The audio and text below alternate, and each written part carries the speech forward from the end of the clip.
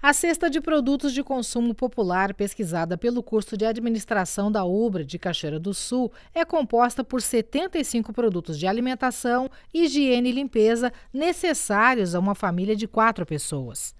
Em junho, 32 produtos tiveram aumento de preço e 39 tiveram redução. O amido de milho foi o maior vilão do mês, com aumento de 95,51% seguido da cera de assoalho, com 63,18%, e álcool de limpeza, 36,28%.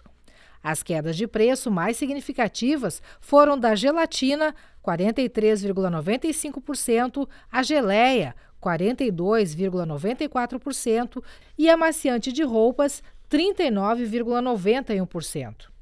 Entre os essenciais da mesa brasileira, o arroz subiu 17,78%. Já o preço do feijão teve queda de 0,48%. Para adquirir os 75 produtos da cesta de consumo popular, é necessário R$ 1.093,04, que equivale a 1,10 salários mínimos, hoje no valor de 998 reais. Maio foi o mês com maior percentual de aumento dos preços, 4,84%. Em compensação, junho registrou queda média de 2,85%, o melhor índice do semestre.